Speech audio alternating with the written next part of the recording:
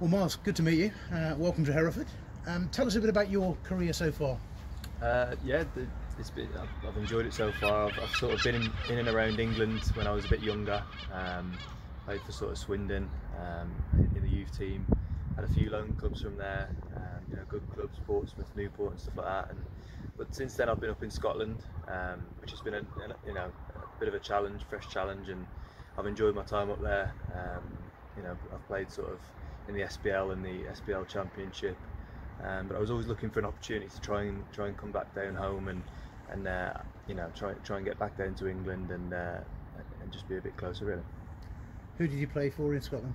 Uh, I played for um, Inverness Caledonian Thistle on loan, um, and I went to Aberdeen, uh, which was a good experience. Um, actually managed to get like three minutes in the Europa League, which was a big thing for me. and then um, I went to Partick and then back to Inverness. So it's been sort of six years or so that I've been up there. Um, and I've enjoyed it. It's been, it's been good, but like I say, I'm, I'm, looking forward to getting back down back down to England now. I've been to Inverness. It's a lovely place, but it's a long way from home, isn't it? Really? It is, yeah. It is. Um, I come I come back back to England yesterday, um, but I had to get a flight um, because the drive's like eight and a half hours, and it's too much. It's, it's too much. So um, I've still got to make that journey a couple of times to get all my stuff down, but um, yeah, I'm looking forward to it presumably your time in Scotland you see as being an important part of your football development there. I think so. I think the last time I played um, in England it was sort of for Newport when I was about 19, 20 um, and I still felt a little bit like a bit of a kid, a bit of a scrawny kid and I feel like I've grown up in Scotland. Um, I've grown into my body, I'm more confident. Um, it, it, I'm more confident in my body and, my, and myself and my abilities um, and I'm looking forward to, to sort of you know being back down here and showcasing them. How do you see yourself as a player? What sort of a player are you? Um, I think I'm direct. Um, my main position is a, as a number nine, um, as a striker. Um, um, I play with pace and power. Um, I've played sort of on either wing as well in the last sort of six, seven years. Because you know I, I, like to use both feet. I can cross with both feet. I can shoot with both feet.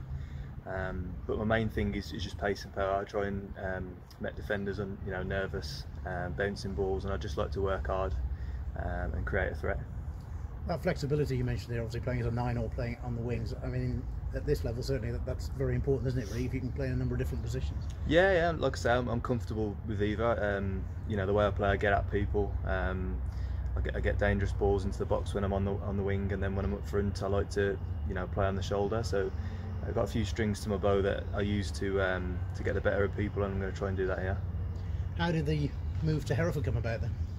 Um, I was kind of in conversation with my, my former club about um, staying up there, and I had a conversation with Josh on the phone. Um, and you know, from, from, the first conversation, I was really interested in, in the place. Um, I've played for you know a couple of big clubs, and this has got that big club feel. Um, and he really sold the place to me. Um, you know, it, it's, it's, a project. He, he, wants to get the club back to where they want to be, um, and I want to be. I want to be part of that, and I want to help out. so I really like the, the ambition for the place. And I know one or two of the other lads that are here already, and I spoke to them, and they said how good it is and, and how it all works. So you know, and then really, um, you know, the manager's desire to get me in was, was a big thing for me as well. Um, you know, he spoke to me a couple of times, and he, he was trying to get me here, and I felt wanted, and it felt good. So it just feels like the right thing to do a final one for me in any summer. Um, you know, players are looking to move. It's good to get it so nailed down fairly early on, isn't it? Really, but particularly perhaps in the current climate after COVID, of course, where clubs are operating maybe with smaller squads. Yeah, yeah. I mean, um, you know, he did, he did say to me from the first couple of conversations that he wanted to get his, his team team ready for pre-season. Um, obviously, I've done a bit of research on, on the team, you know, the last couple of years, and I've seen that they had a great end to the season with the cup run, and he wants to um, you know build on it in pre-season and, and be flying for the first game. So, you know, I was more than happy to get it done and um, you know get myself back down here from eight hours away and uh, and and just concentrate on my football. Um, you know, with all my family being sort of around the Midlands and stuff, it'd be nice for them.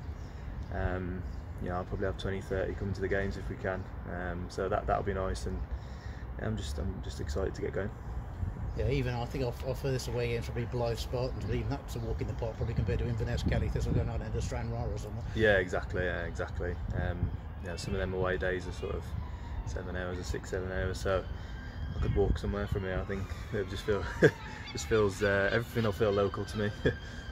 Good luck. It goes well. Thank you very much. Cheers.